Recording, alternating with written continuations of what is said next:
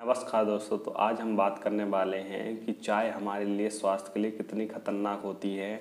हमें पता होने के बावजूद भी हम इसका सेवन करते हैं और हमारे लिए कितनी ही डेंजर होती है इसके बारे में बताते हैं कि किस प्रकार हम हर व्यक्ति इस चाय का सेवन सुबह उठते ही खाली पेट इस चाय का सेवन करता है और जो किडनी पेशेंट होते हैं, उनके लिए भी बहुत डेंजर होती है। यह क्या होती है? हमारे बॉडी प्रॉब्लम खड़ी कर देती है और पेशेंट को एसिडिटी जैसी प्रॉब्लम हो जाती है, जिससे एक चाय हमारे लिए बहुत ही डेंजर यदि आप चाय का सेवन सात से आठ कप करते हैं या इससे अधिक मात्रा में करते हैं तो इसमें कैफीन भी होता है जो किडनी के पेशेंट के लिए अच्छा नहीं होता है। इसमें क्या होता है? ऑक्सीडेंट एंजाइम और हार्ट स्ट्रोक प्रॉब्लम की संभावना अधिक रहती है।